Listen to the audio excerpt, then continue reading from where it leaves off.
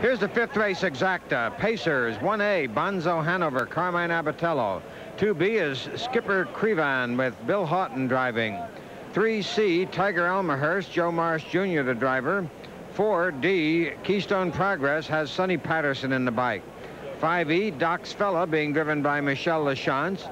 6F, Jo-Nathan with Buddy Gilmour driving and 7G Alert Marquis driven by Rene Poulin. Fast class pacers here in action in the fifth race exacta and Jackie Lee has the call.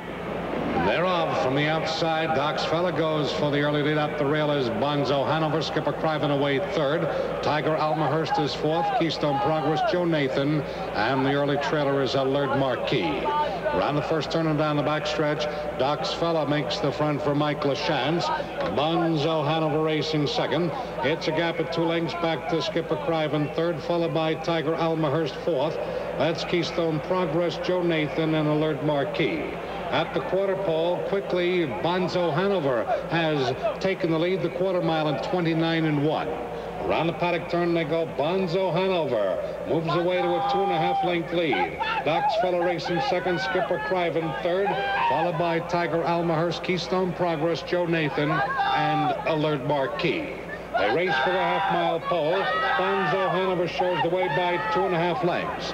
That's Doc's Fella Racing second moving to the outside is Tiger Almahurst third and going up. Up the rail, Skipper Chrivan back to fourth. Keystone Progress picks up cover fifth. Jo-Nathan is sixth. And Alert Marquis is still seventh and last. The half mile in 59 and two. Down the back stretch with three-eighths of a mile apace. On top is Bonzo Hanover. Charging up on the outside is Tiger Almahurst that takes second up the rail. Doc's Fella is third. Keystone Progress fourth. Skipper Chrivan fifth, Jo-Nathan sixth, and uh, Alert Marquis. They're at the three-quarter pole. Bonzo Hanover leads at three parts of a length, three quarters and one, 28 and four. As they move around that final turn, Bonzo Hanover with the lead. On the outside, Tiger Almahurst is second. Doc's Fella in the pocket third. Keystone Progress to the far outside fourth. Jo-Nathan fifth.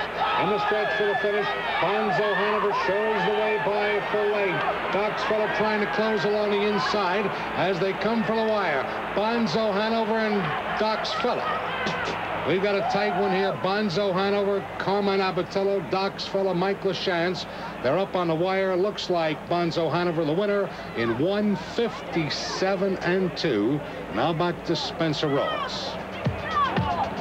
That is a lifetime best mark for Bonzo Hanover. Last three weeks, Doc's Fella finishes second, once beaten by Hilarion, a lifetime best. The next time beaten by Auburn Brett, uh, best for him on a half-mile track. And tonight, a lifetime best for Bonzo Hanover.